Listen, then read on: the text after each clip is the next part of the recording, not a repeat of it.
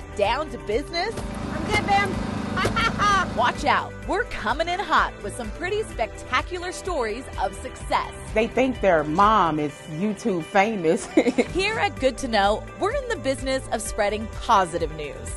And these entrepreneurs from across the country are here to inspire you with their creative self made companies. it's your kitchen. Do what you want. We've got everything from rage rooms the real me coming out to start smashing everything, breaking stuff, throw it, and tell it powderize. The number one thing that we hear coming out is, I didn't know I needed that. to holy breweries. These statues are, I think, imported from Italy.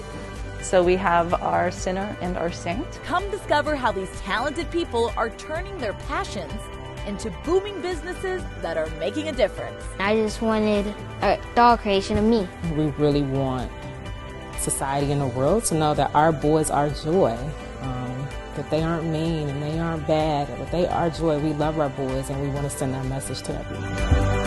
Hey everyone, and welcome to the most positive show on TV. I'm your host, Michelle Macaluso, and this is Good to Know.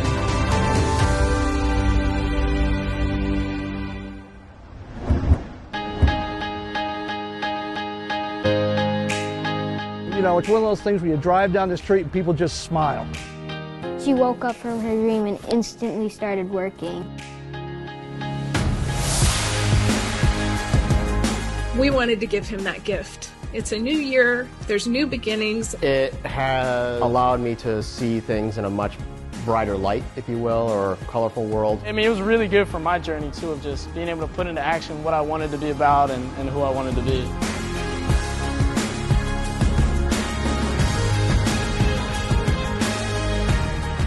Just much more of a special story. We are here. We are here to be a staple for the community, and I don't foresee us going anywhere anytime soon.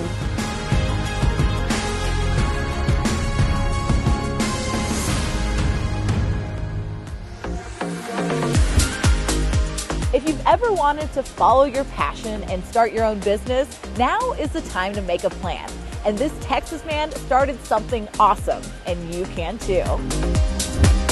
Robert Valdez, the best tank troop first sergeant out there, will lead your day at this family run paintball battlefield. He retired from the Army and had a second career in law enforcement.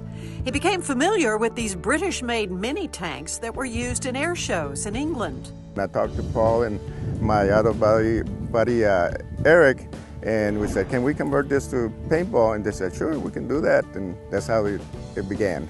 He was initially looking for retirement property, but after finding the land in Hico, his plan changed. I wasn't thinking about paintball at all at that point, but uh, that's why afterwards it was like, "Hey, I can do it here." And now there are three different battlefields to choose from.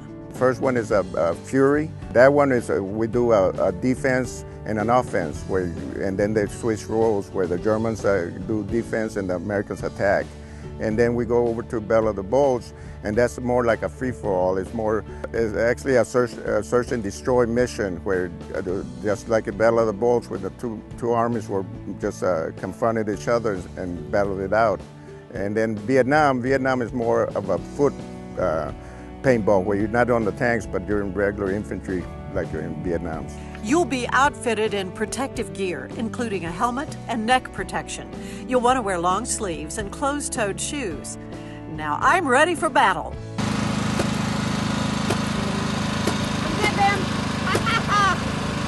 This is for all ages. The oldest veteran it was a 78-year-old veteran that came out here, and uh, he was uh, actually had his son and his grandson that they were battling with. I've had had bachelor parties, uh, birthday parties. Uh, I even had a divorce party. There are a few rules you're told to follow, but has anybody gotten hurt doing this? No, nobody. You can You really can't get hurt other than a little, a little black, uh, blue, blue mark or red mark or whatever, because uh, they shot themselves a little close. Pack a picnic lunch, make a day of it, and you can BYOB, but no drinking before the battle.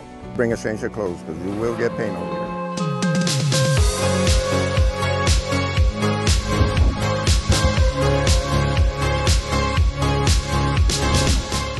Berry works as a security specialist in Detroit, and even with a super demanding job, the 30 year old manages to stay calm most days thanks to his belief in an important philosophy. Don't take your problems from home to work and vice versa. That's why, to blow off steam, Chris rocks up to Escape Room Zone in Madison Heights twice a month. In their rage room experience, Chris gears up in a protective suit, lays his selection of items, grabs his weapon of choice, and then.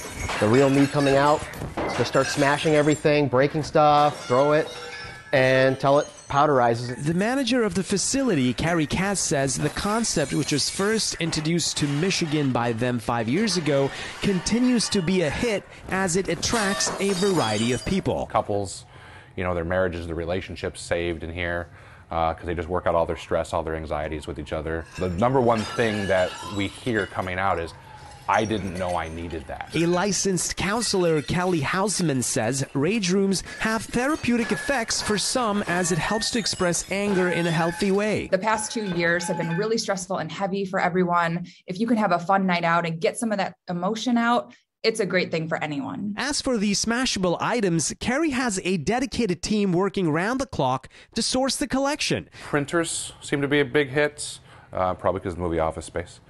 Um, I would say TVs. We get all ranges of TVs. And then uh, laptops seem to fly off the shelves pretty quickly. For some, de stressing is all about having a good meal, while others prefer an intense workout.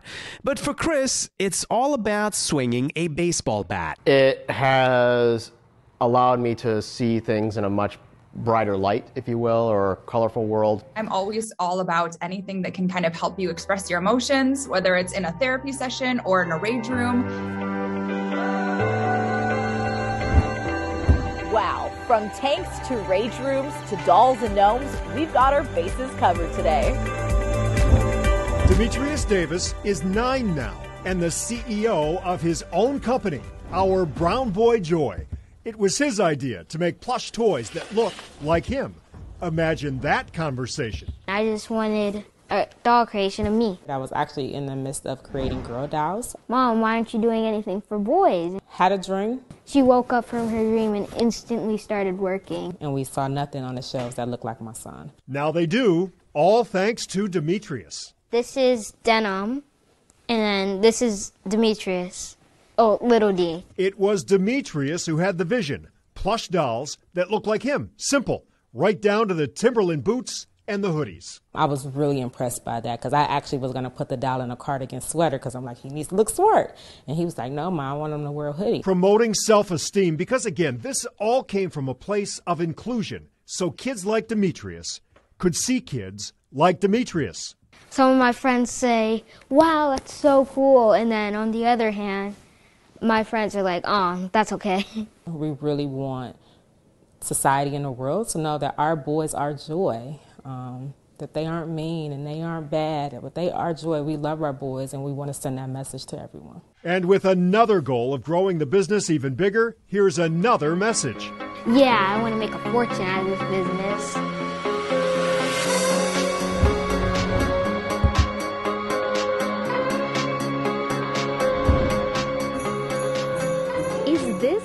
Enchanted forest.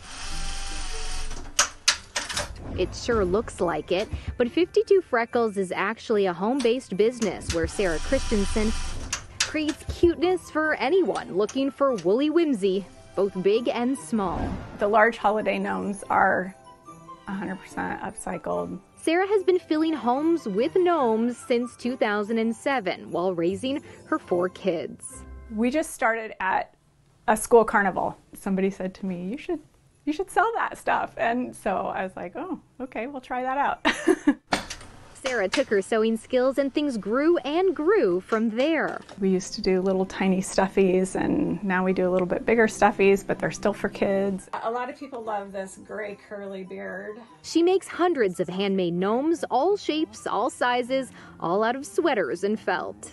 We kind of hit the thrift stores all winter long, stocking up for the following year. Currently, 52 Freckles is in full gnome mode. And I tell my husband every year, though, I do tend to get a lot less sleep during this time of year. Winter is certainly her busy season, but these little woodland creatures are a big hit no matter the weather. It is a year round thing. Feel inspired yet? We have more amazing entrepreneurs to meet. And we're going to take you on a tour of the holiest brewery in California. The stained glass that's like lit from behind, that was custom made for us. These statues are, I think, imported from Italy. So we have our sinner and our saint. Come see how people are turning their passions into reality. It's good to know.